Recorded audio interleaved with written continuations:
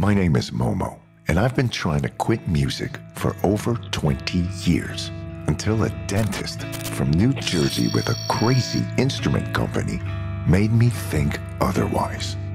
It has always been about inspiration, the right person, that right thing, or that person that provides that perfect thing that gives you your thing, as well as it being the very last thing you would ever expect to happen. In my case, I met a man only once in 1997 at a music show in LA, and I was going to have to wait 20 years for his creative madness and friendship to start taking effect.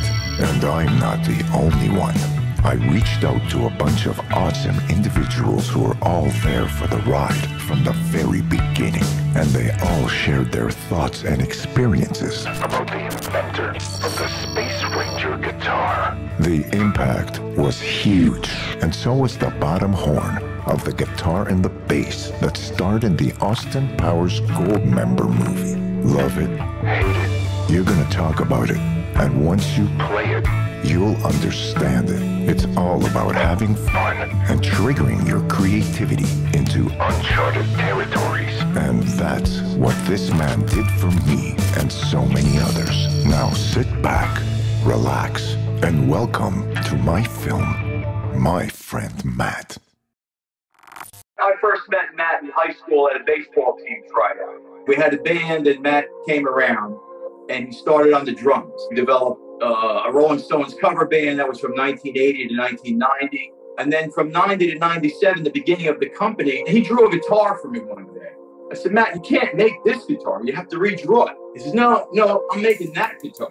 So that was the, you know, the first guitar with the weird shape. And the first NAMM show, people walked by, they hated it or they loved it. I have a very soft spot for Matt uh, in general because I met Matt very early on in my career at Guitar World. Anytime when you start something new, you're you're kind of green. Matt was always one of the very early guys that made me feel welcome. Was very kind to me and very supportive. And that's an important thing. It's sort of like when you feel that you have the support of people in your industry, it gives you the confidence to do your job. These are angels of your industry. We connected when the guitars came out dealt with him a lot up through till uh, we shut down the magazine in 2008. He had so much energy, but also the nerve to put those guitars out when he did. You know, it was like smacking the whole guitar uh, industry in the face with these things. And I remember the first show, the Fender booth had a yellow tape around. Here's typical Matt.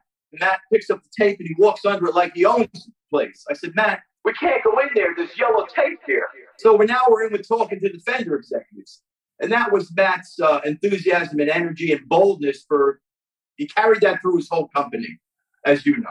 His personality is infectious. You know, he comes into the room, he lights it up. It's his enthusiasm is so infectious that you sort of you're drawn into the things he wants you to understand about what he does. And, and I'm like, I'm on board. Matt did things that you would look at and be like, that was September. The NAMM show was in January. January went to the NAMM show. We had 16 prototypes at that damn show. That first show when we were in the basement, when we met you, we didn't know what to expect.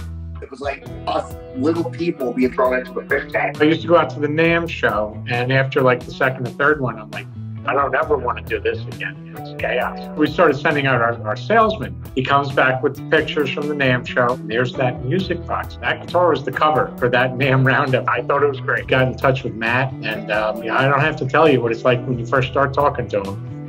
it's quite a treat. We would show up at a parade and we would say to the police, you know, we're, we're playing over there, and they would start moving the barricades, and we would plug into the circle where no band was scheduled to play. We'd be playing like on parade day. You know, that was that. And there's Matt coming with his Music Vox.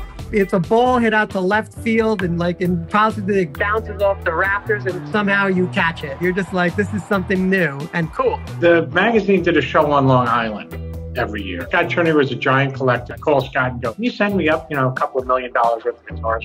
We would bring, you know, some high-end Angelicos, and split-head stock Explorers, and Super 400s. And then, of course, there's the Music Vox sitting next to the, you know, half a million dollar Angelico. Well, growing up, we had guitars all over my house. So just picture walking into my house and walking up the stairs. There's guitars all on the walls of the staircase, in the living room, in the den, in the basement, all over. As a kid, me and my siblings used to think that it was totally normal to have guitars hanging on your walls.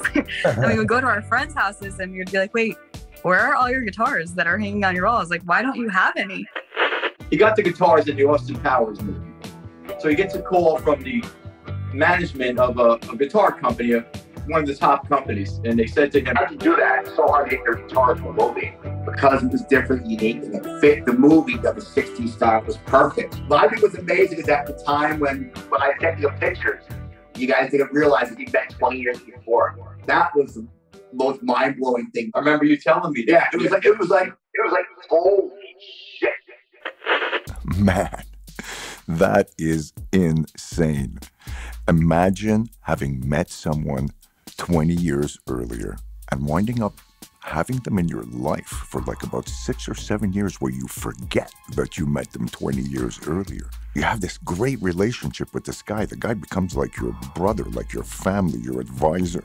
Then Jeff figures it out. He calls up Matt and he says, Man, I think you guys actually met before. Check this out. and then the flashbacks began flooding in and we remembered it all. That, my friends, is the proof that you never know how an encounter in your past was going to become one of the most important and pivotal encounters for your future that you just didn't know about yet. Matt and Music Vox would become the reason that I wouldn't have quit music. I was really going to hang it up after so many years of chasing my artistic dream from every single angle. I feel extremely grateful and proud to call Matt the brother that I've never had, that started off with Music Vox but went so much further. 1997 was the year that ignited that friendship, and we would have to wait for another 20 years worth of our personal extra experiences for us to become ready for each other. Now, let me introduce you to some super cool individuals and their experience on how they heard of my friend Matt in the late 90s. My first memory of Music Vox was on the tour bus with the New Radicals. I think it was in the late 90s, maybe 99 or 2000. Probably the same as everyone else. Austin Powers. I think we all saw those bizarre looking guitars, and just everyone was like, What's that? what is that? I first heard about Music Vox guitars and Matt Eichen from a guy named Stuart Johnson, who became the drummer in Ming Tea. He was in the first movie with us. Somehow, Stuart had a couple of these guitars. One day I'm sitting on the bus and I look over at the guitar player, Brad Fernquist, and he's got this crazy looking guitar. And I'm like, where in the world did you get that thing? And he says it came from Jim, the keyboard player. So I said, Jim, where in the world did you get that, that guitar? And he says, my dentist made it. he came over, he had a, a Space Cadet. The gold sparkle Space Cadet that I never gave back to him. They had this crazy, amazing design to them that seemed really well suited toward the Austin Powers idea, the idea of what he was like. He's all horny all the time, you know. Susanna Hoffs fell in love with it. Mike fell in love with it. Chris Ward, the other guitar player, fell in love with it. And then next thing you know, we're in contact with Matt. And Matt is providing the guitars to Matthew and the rest of the guitars for the movie. So I went to Mike Myers and brought it up to him, showed him the guitars. He thought they were great. You know, everybody did. The movie was made for people like uh, who grew up in that certain era. I think Mike Myers and I are pretty much the exact same age. So we grew up watching spy movies. So I even went to see that movie on the day it came out. Before the phenomenon even started, I knew it was going to be a good movie, and then there was uh, some cool guitars in there too. It was at NAMM. It, it was at the NAMM show, probably 96, 97. Just cruising through with my brother and seeing the Space Ranger plain and simple. Alec, Rudy's bass on Fat Albert, crazy thing. We both just were like, what is that?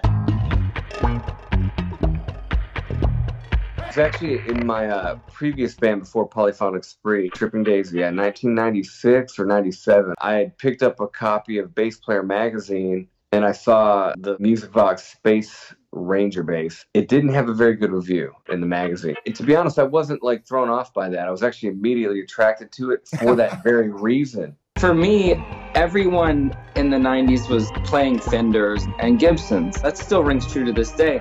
But to me, I've never really found like a boutique guitar that wasn't shaped like a Stratocaster, a Telecaster, or a Les Paul. It's like McDonald's chicken McNuggets. There's like three shapes that you get. This is great. This is like a modeled after you know some kind of like harmony or Danelectro style kind of short scale bass, and I want to play it. I'm not a five string modulus Bubinga Wood kind of bass player guy, you know.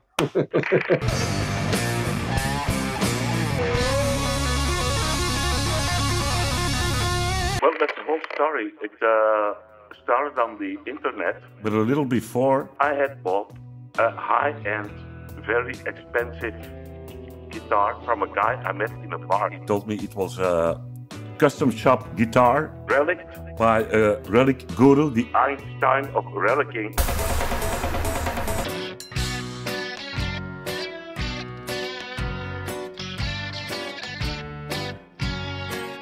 Before Music Vox, my relationship with guitars was just very distant. It was like corporation made this guitar for me, this Gibson, this Fender. This is the first time I actually had a relationship with an individual, Matt. It changed my the way I played. You're right. It changed my desire to support this instrument and put it in projects. I took it to rehearsal. Wasn't really what I expected, so I was a little sad. Afterwards, we went to the bar. Yeah. We had a smoke, let's say, uh, some high-end Lebanese stuff. Basically, been heard in millions of households around the world in Nickelodeon cartoons or Disney cartoons, and who would know it, you know? But it's uh, it's exciting that I feel very proud that I've been able to put this in different things and music videos because I love the way it looks, love the way it plays. The next thing I remember I had a vision. was like a dream.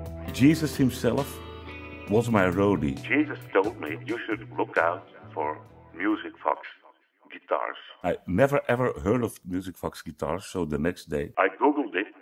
and the first thing I saw on the Music Vox website was this. It looks insane. It's a work of art. It's got this horrific tumor coming out of it. You know, everything beautiful was once ugly, you know, and I'm sure a lot of people see this and they're horrified. But to me, when I saw this the first time, I said, I came to music by way of surrealism and absurdity and Salvador Dali and Picasso and these sort of things. This stood out right away because it is a piece of surrealist art. Nobody would do this to a guitar. They would be embarrassed to produce something like this out of Fender or, you know, or Gibson, you know, but this thing, you know, it's fucking gorgeous. At the moment I had this guitar in my hand, all these voicings, all these chords that I that have these real strange names, I could play them easily. So it it was like a miracle. So basically, this is also a jazz guitar.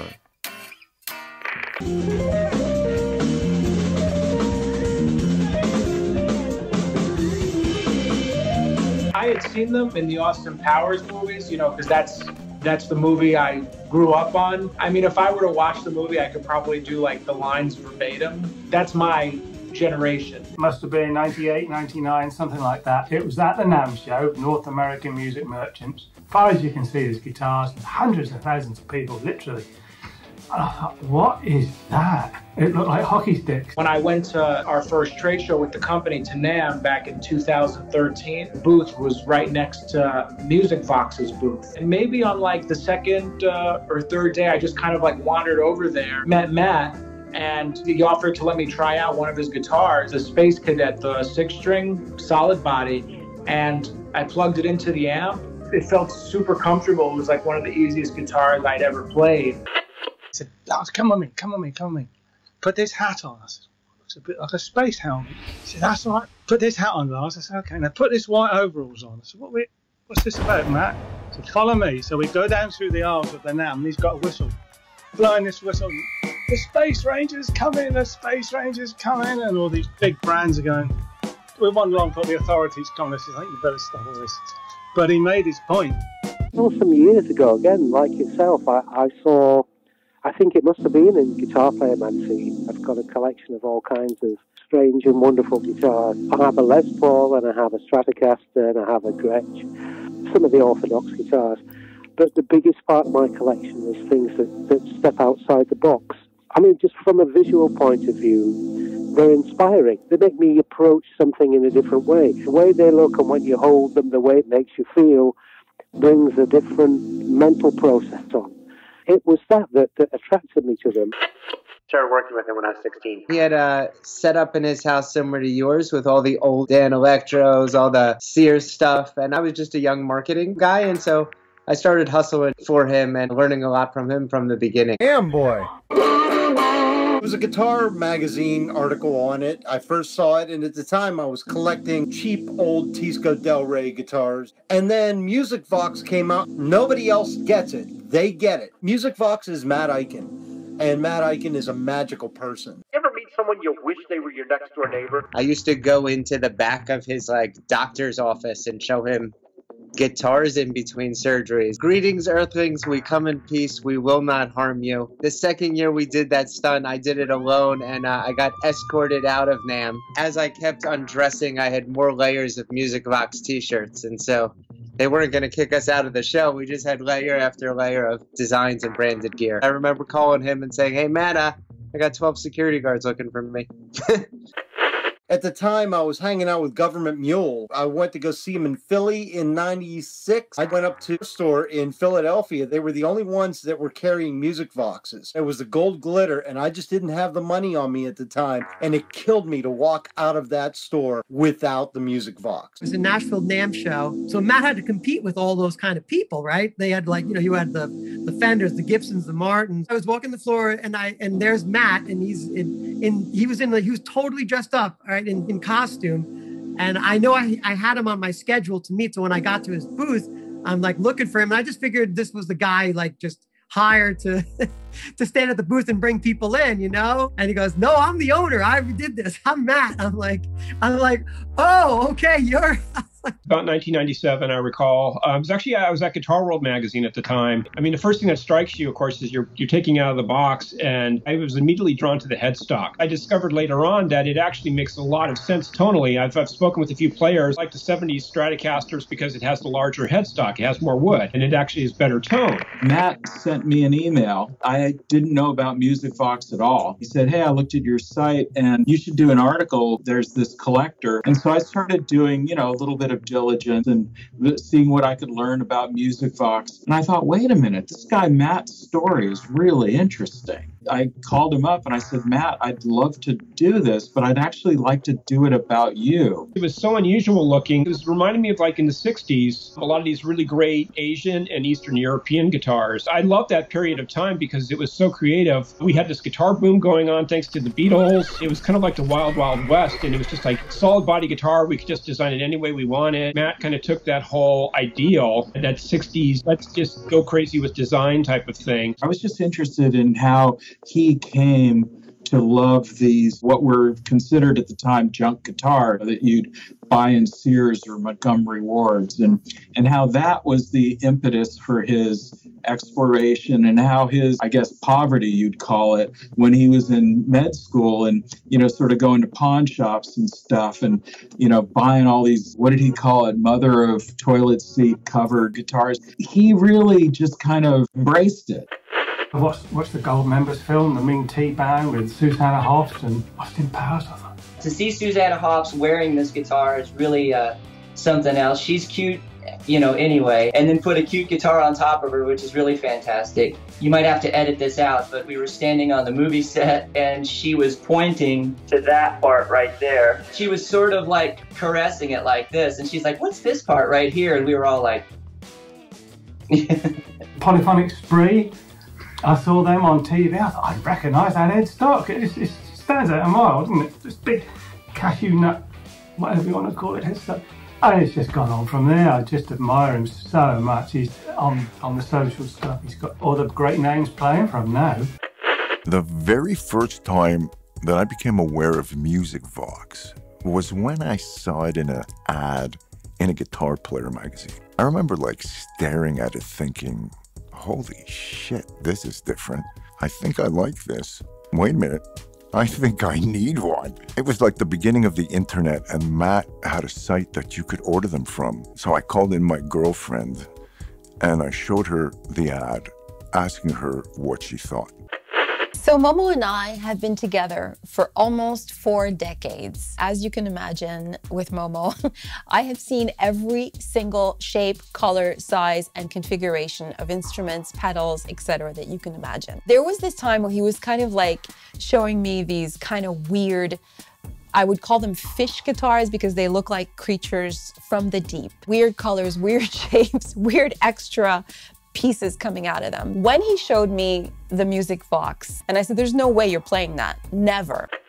I think that it is so cool that Matt was one of the very first to sell his instruments on the internet and not in the stores, as well as me not buying the original Space Ranger bass, but waiting many years to wind up buying the white 12 string bass that helped separate me from the bass pack. Fast forward a few years later, he did get the 12 string bass guitar from Music Vox. It just fit him so well, and of course, it became part of his main arsenal. Honestly, the fact that they kind of look different makes me play different. And knowing the man that is behind this differentness and vision makes me play even harder and for the right reasons. It has to do with something that Matt infuses into each of his instruments and the passion of the design and the passion of giving musicians a tool that is, you know, imbued with creativity. Something about that connected really intensely with Momo and they developed this kind of amazing friendship. Now let me introduce some super cool 12 string bass peeps talking about their personal experiences with a 12 string bass.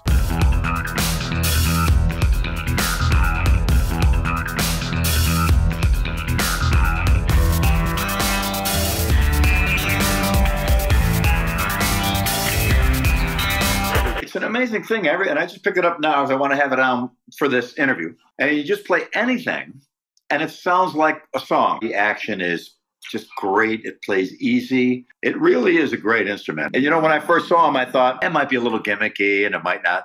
I didn't know much about the company or anything, but man, these are rock solid. They don't go out of tune, dude. That once you tune these suckers, I, I tell you, I used to see. Let me see how long I can beat this thing. How many weeks before I have to tune it? The first single I ever bought was The Byrds, Eight Miles High. So the, that eight-string Rickenbacker that uh, Roger McGuinn played, that, was just an iconic sound for me forever. When a guy like you's been playing for as long as you have, you told me in the last interview you love like listening to Indian music and all kinds of stuff like that. When you go to play with, you know, Sons of Apollo, that doesn't necessarily come across like you're influenced by Indian music, you know?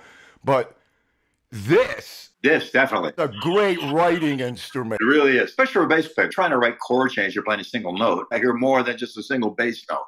So it really is a, an effective uh, writing tool. But I can't wait to get this on something recorded uh, properly. Just beautiful. And I've noticed that you've put your favorite little cat in the corner there. Did I did my eye deceive me? When they they they're welcome to the family, they get the spooky sticker. The rebel is the cat now, but Spooky started it, so we refer to her that way.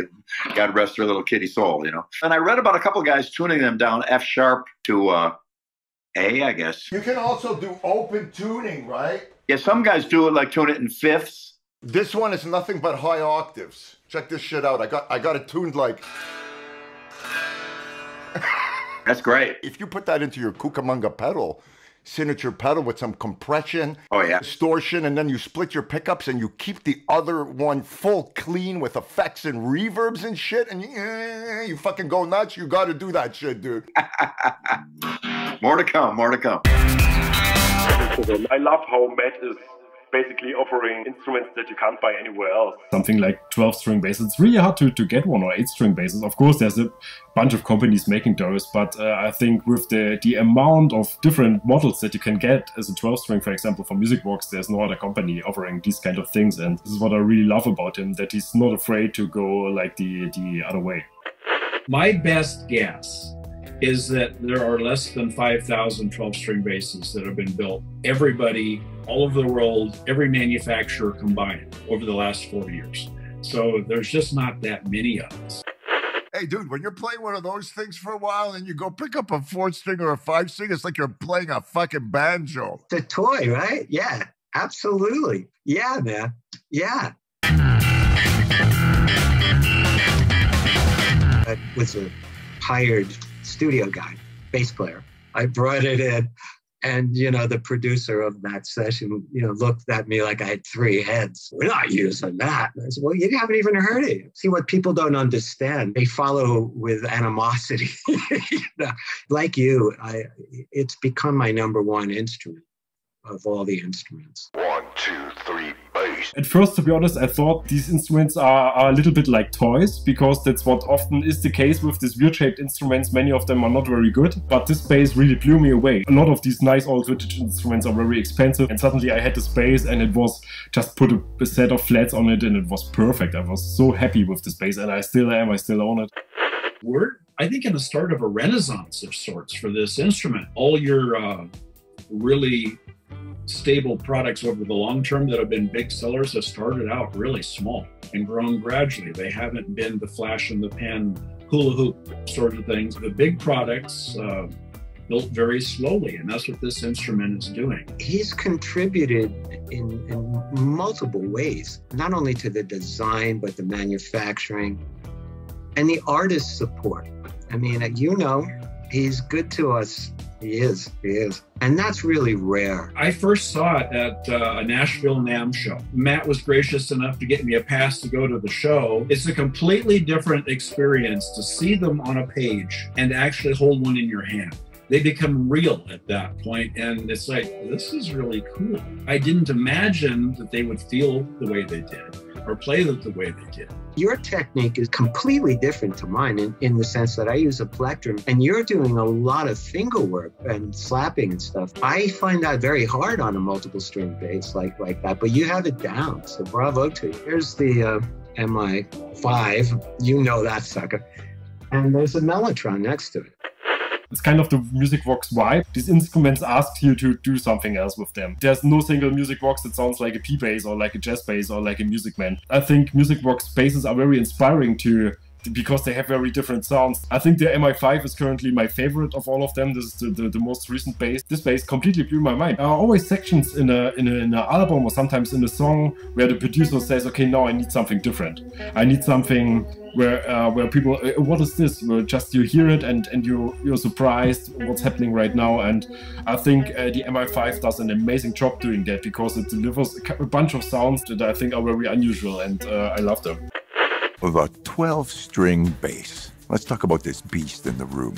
Discovering the 12 string bass coming from a four string perspective is like jumping to a concert grand compared to a four string bass. The thoughts can vary from very intimidating to exciting, some confusion thrown in, to are you kidding me? Does anyone need this thing? And it's not even a bass anymore. But I gotta tell you that for me, it was the instrument that I had been waiting for my whole life. It opened up all these new doors, man, like for composition and arrangements, writing like accompaniment lines that you could never do without an instrument that had multiple strings.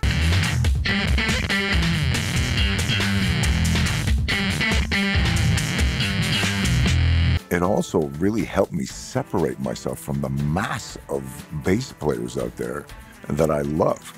The 12 string bass, to me, is the bass that you get when you've had many other basses and you want to add some cool new tools to your musical toolbox. You can even remove some of its octaves and it automatically becomes an eight string bass. I have a new signature bass called the Laredo, which is kind of like an eight string piccolo bass that really puts it into a guitar bass like category. My friend Matt has really been generous with me on developing these Momo multiple string instruments that really, really fits my style, as well as the Music Vox vision and design. Speaking of design and vision, why don't we go listen to some of our friends got to say when it comes to design and influence of Music Vox within the instrument industry? I think design wise, as far as the sense of humor is concerned, the playfulness, and that open sort of feeling that you get when you hold one of those instruments, it really almost calls on you to connect with your inner youthful side. The other technical aspects are what the other companies are chasing. Getting the strings, you know, just right up and down the neck, you know, precision and things like that. Although the Music Vox play very precisely and, and in tune and the intonation's fantastic. Some of what those companies I think are overlooking is that that inner child, that inner sort of playfulness like I'm talking about. The whole reason that we pick up an instrument in the first place. When you set a Music Vox guitar on your lap, already it's like tickling your brain in a different way. In the 90s, retro was really just getting started. Uh, this this idea of that the, the gear of the, the 50s and 60s was really cool stuff. It wasn't because people had called it cheapo before then. Those were cheapo Japanese guitars and whatever. By the end of the, the 90s, it was a full on revolution. And Music Vox, I mean, those that was right there. Here we are 20 years later.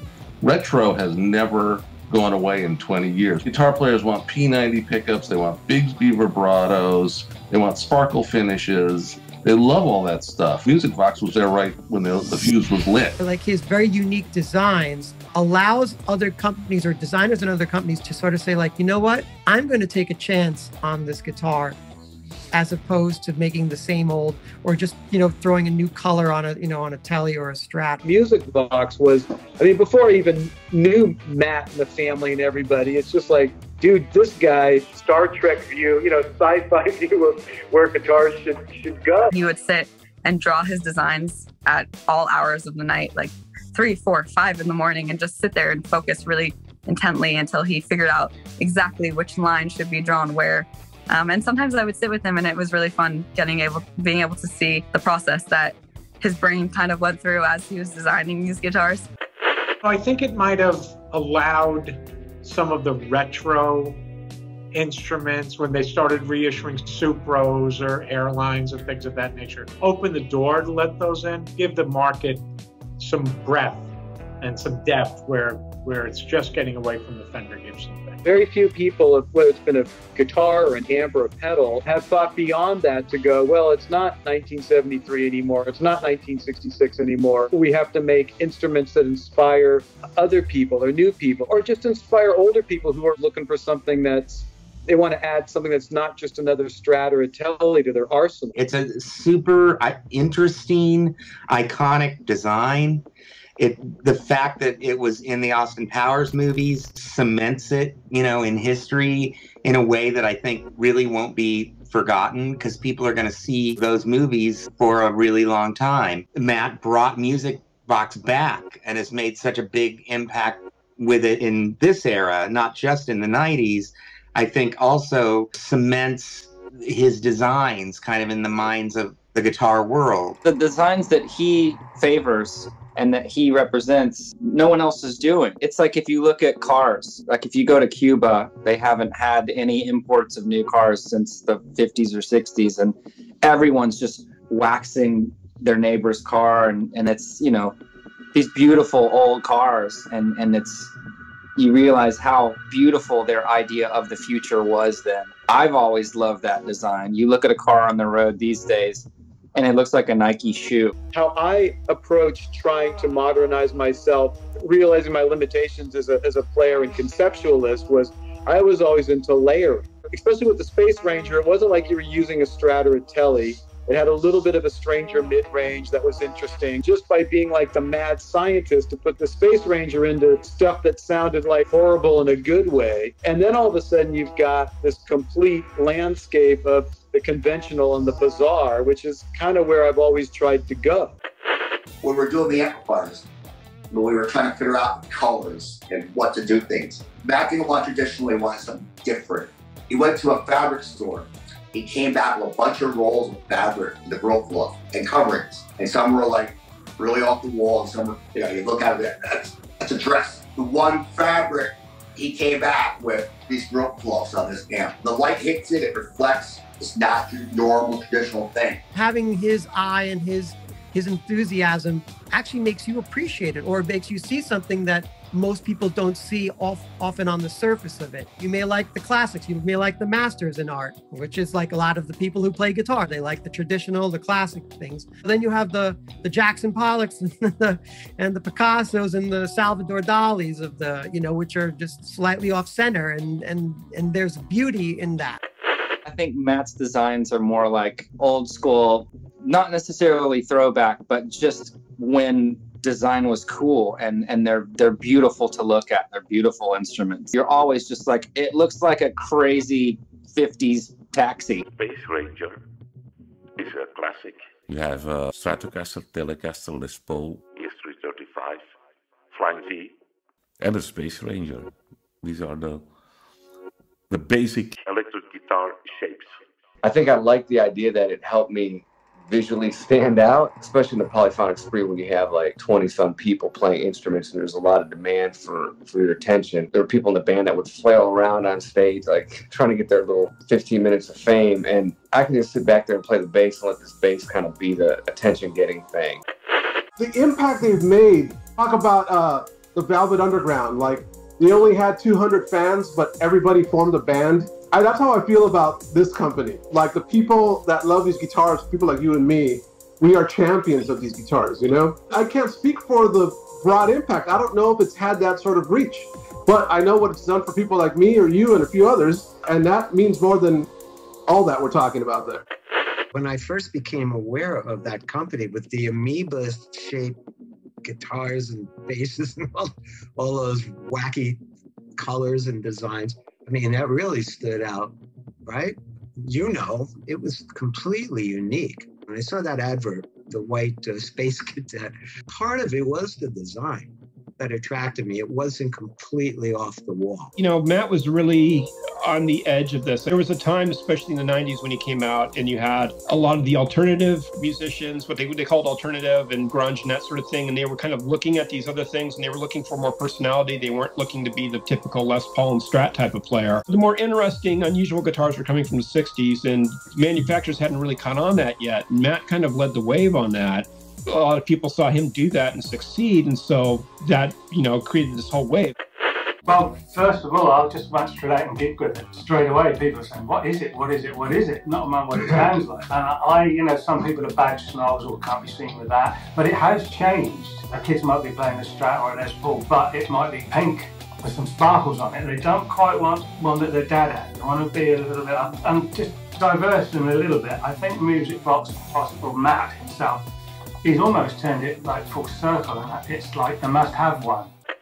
I describe some of his guitars as, you know, looking like an animator for the Jetsons might have come up with it. There's very much that sensibility and again, sense of fun as well. You know, that, you know, hey, look, that guitar looks like a rocket ship. That guitar looks like it's got an appendage or an alien sort of thing going on. There's no reason for the Space Ranger to look the way it does. I mean, there's just it doesn't have to look like that. They're almost like Moreau paintings. A weird thing I just thought about is kind of um, spiritual in a way. Matt's an oral surgeon. Matt deals with people's mouths, and Matt helps people smile comfortably. And he's made an instrument that makes you smile. Music Vox kind of just taught me how to to use different pickups and how to how to how to hear different pickups. So many guitars with different pickups that I'd never even played or I mean I'd never even heard before. I was like, let's try that one. Oh my god, that one. What's that? What? The, I don't even know what thing that is, but let's plug it. It's totally different than the other one. So we would layer guitars. For me, it was very very educational to just learn how to blend distortion and learn how to layer guitars. The people are looking at these guitars like people come up to them and it's very funny because like I started playing on like cruise ships when I was 19. Throughout the years, I had a Strat, I had a Gibson Studio Les Paul, and I even had like a big jazz guitar too, just like one that's, you know, an arch top. In those situations, no one ever would come up to me and ask me about my instruments. They always do like the same look. They like, they turn and like look like this, like, like what instrument is that? You know what this is visually? What a brilliant video guitar that is. I mean, how better can you get with that? Hey? I'm friends with a wizard, is how I feel. And they were the innovators. You know, before Eastwood guitars, before all these other guitar companies, Reverend, it was Music Vox that started it. This is one of the original prototypes right there. Made in America, uh, nitrocellulose, this is one of the original Space Ranger prototypes. I think he had nine made, and this was the Seafoam Green.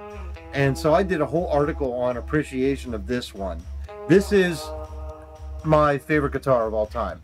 I think that all the other companies that are coming out with radical designs, all of those guys owe a big debt of gratitude to Music Vox because they brought back Pawn Shop Chic. And they had the balls to actually get these guitars made. I mean, look at this. Who would make this guitar? Who would have the balls to make this guitar, you know? When Matt brought out the MI6, I saw that in Guitar Aficionado magazine, and there was a limited edition with a sparkle finish. And I thought, I've just got to get one of those. I bought one of those with a gold sparkle. More recently, I was looking at the, the Space Cadet, and I liked the one with the white triangle and the red body. My wife said, You don't need another guitar, you've got 70 guitars. And then when she wasn't looking, I ordered it. I love the design and aesthetic of my Music Vox instruments. I also like to play this game that I play with my 8 and my 12 string basses, which is to see just how long I can play and record without having to tune them. How long do you think that would be? Like a, a few hours, a couple of days? I'll tell you, it's more like weeks and months of beating and smashing, and surprise, surprise, it's still in tune. it really became obvious to me that they were incredible to photograph because of their colors, their shapes. They have a design that's configured kind of like, you know, the futuristic 50s kind of mentality. So I think that Matt has a love for that time and that translates to his design. The other thing that also really fascinates me about the design is the different emotions, right? That these instruments actually evoke in people. Like when you first see it, right? You either love it or you hate it. The ones that love it they have a very positive, open minded nature to them and get the whole trip of playing and collecting like different types of stranger type of instruments. The ones that don't get it go from like, no, sir, I don't like it, to who the hell would do something like this, to the most violent, insulting, disgraceful comments that they say about my friends' creations that I have ever heard. And all of this without ever playing one. As well, I got to tell you, it's burnt into their minds forever. So, could this be part of the magic of Matt's design that makes you make peace with your inner conflicts and gets you back to the fun of creating music? Hmm. I would say maybe so. At least that's what it's kind of done for me. Let's go check out what kind of impressions were made on others who have become part of this artistic and musical family of amazing individuals. Matt, from the very beginning, when I spoke with him, he was um, very warm. I think we were emailing each other back and forth in the early days. And we just decided to have a phone conversation one day. And the phone conversation lasted about two hours, which is a long time to talk on the phone, unless you're talking to your mom or your granny or your dad or whatever, you know. I mean, this is Matt, a guy that I've never met before. We bonded on so many things that the music aspect of things, him being a drummer, me being a drummer. I just found him to be very open and very generous generous person. Anybody that's watching the video, if they do any sort of research on Matt's journey with creating the instrument, how he's managed his company and his business, staving off the wolves all along the way, and holding on to the company so that he can continue to put that type of care into it. Matt is just sort of eternally cheerful and, and upbeat. I mean, he's as much of a fan as he is a, a guy who builds guitars and creates instruments. What I try to do as a reviewer is to actually get in the mind of the person building it and sort of try and capture what their intent is and you know he responded to that. He's like you you figured out what i'm doing. So it you know it's his joy to create these instruments for me to try to to express that in writing and just so enthusiastic about uh, you know the players and the gear and and even us writers who uh, you know not, not, not many people celebrate the writers but it's nice to have a, a manufacturer say you know you, you really got it you understood what we were trying to do. So that's a that's a good feeling. I just appreciate his heart. You know, he's really in it, you know, not to make a crap load of money. He's not in it for his ego. I mean, there's still jazz when players pick up their instruments and like them. You know, there's that thing about, oh, this is awesome. He's also someone who just loves being around musicians and guitar players and bass players and doing whatever he can to give them the tools to make them have some fun. I, I mean, I'll forever thank him for that because you know there's not a not a, lot of those guys left anymore. Matt is relentless. Do you know what I mean? Relentless. There is no other guitar manufacturer that I can point to who has, and keep in mind, these guitar manufacturers have teams of marketing people, salespeople, you know, designers, everything. But Matt does it all himself. That switch never is never off. It's always on. He's constantly pushing his brand, constantly uh, promoting his brand. And then in addition, he's still creating in his brand. To me, that's a fascinating case study. He's just always been wonderful to me, always been in touch a lot. He's the ultimate in artist relations, very personal for him. It's something he did as a hobby for himself. Just like music is something I did for a hobby for myself, you know, in the beginning. He understands musicians, he understands the excitement of instruments, how they add new blood kind of to what a musician is doing. And they're inspiring, like you said, they come with songs sort of built into them. Just like an amazing uncle that I never knew I had. I don't think I've ever had better company service or support from from anything. He emails me all the time, just checking in or checking up or or giving me news. We've had that correspondence for 20 years. I have a very dear relationship with him. He just became very personable right away from the first day that I reached out. I didn't realize he was an oral surgeon. You know how doctors kind of have their hobbies, like some do golf or sailing or they're pilots. Matt's was like, I'm going to design guitars. Just put him up there in the category of some of the most awesome people I know.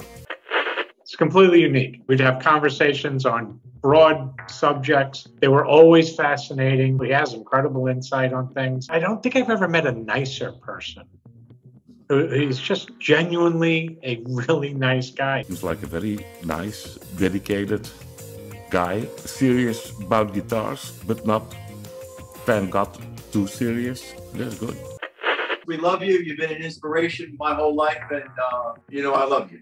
We could ask for a better friend, a better just life friend, because we've been there since very young, before we high school, all the way to now, and especially now. I really appreciate how important it was our friendship, our love we've had over the years. Music Vox, we love you. Yes, Momo, we love you too, man.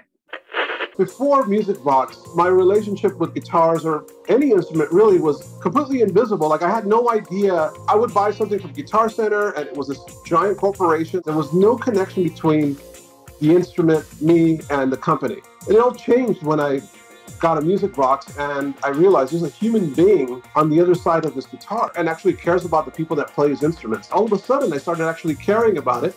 I put it down more carefully.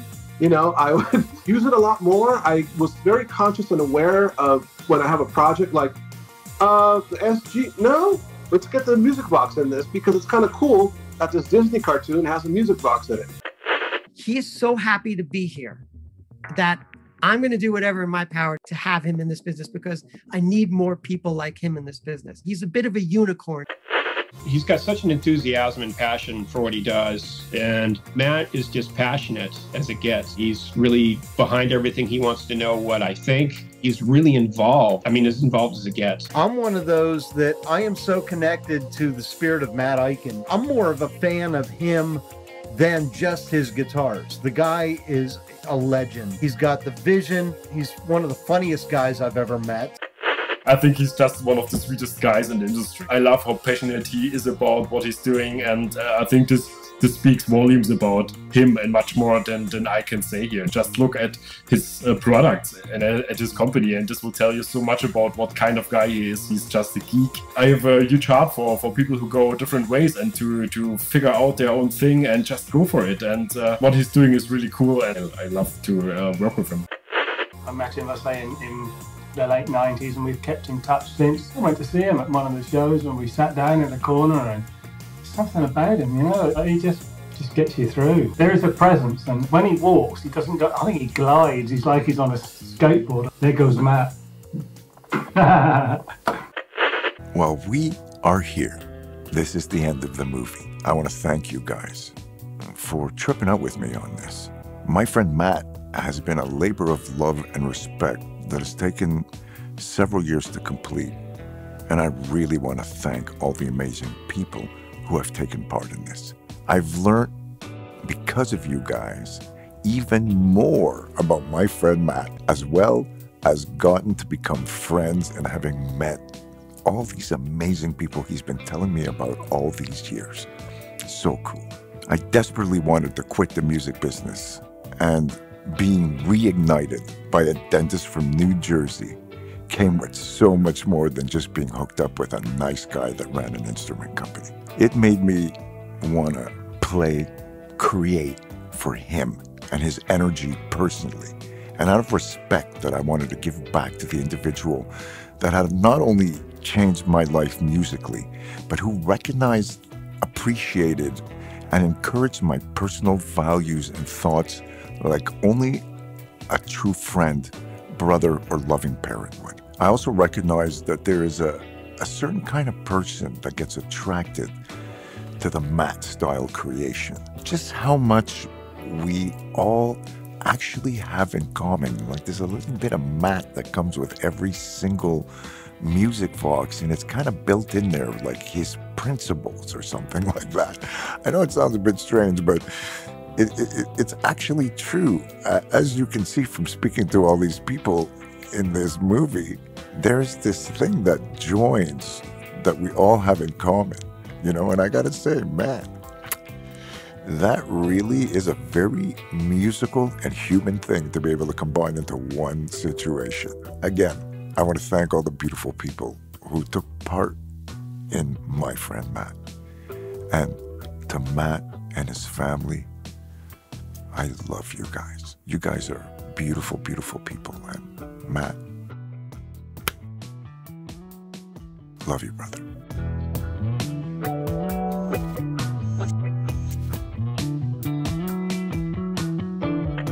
I certainly think the world of him, uh, both as, as a businessman and a musician and a fan of instruments. He's done a fantastic job with his company. The music business needs more Dr. Matt Eichens in it. Just a great guy. I started looking for some mainstream that is cool looking and then I found your videos, started to listen. Since then I have played only this bass and I use 8 string stuff. It was like becoming the part of a family.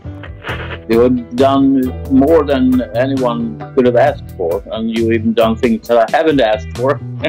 it's something I hear from everybody who has any business with him. Not a lot of people like him around, I can tell you that. You want to say something to my friend Matt? to my dad, thank you for being a part of this with me. Um, I have learned so much, whether it was from the way you look at things, your personality, your perspective business wise, I definitely have grown a lot as a person from the time I was 16 until now. I'm 26 years old. Um, and I definitely cherish all those memories of all the times that we had spent together working on everything.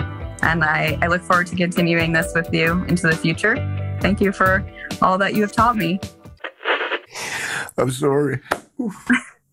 Don't cry, Momo.